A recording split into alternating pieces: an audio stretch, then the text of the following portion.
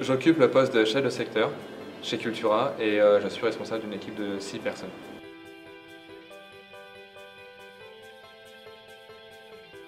Les missions quotidiennes en fait c'est de veiller à la propreté du secteur dans un magasin, c'est-à-dire d'être sûr que tous les produits sont disponibles, que les rayons sont bien organisés et que chacun est à sa place dans le sens où euh, optimiser les compétences en fait, c'est mon rôle premier.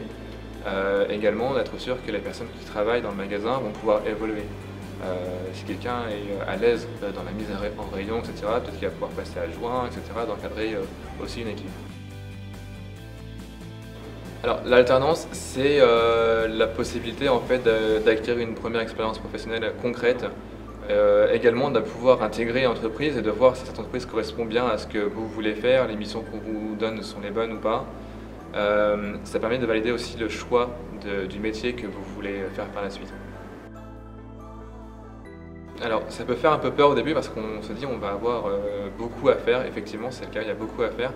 Euh, par contre, en entreprise, on a un jour de repos en fait supplémentaire dans la semaine, ce qui fait que pour tous les travaux en groupe, en groupe ou alors les, partiels à, préparer, on a une journée en fait de libre dans la semaine pour pouvoir travailler. Ce qui fait qu'on arrive toujours à s'en sortir en travaillant un petit peu le soir ou alors en, travaillant cette journée de repos euh, pour l'école. Après, l'école aussi a l'expérience et sait qu'on a des, missions à faire en entreprise. Du coup, les programmes sont adaptés pour qu'on ne soit pas justement débordé et qu'on puisse avoir une vie euh, tout à fait normal. Alors le premier semestre, on est sur un rythme de deux jours euh, à l'école et le reste en entreprise. Et à partir du deuxième semestre, on passe euh, à hauteur d'une journée à l'école et le reste en entreprise.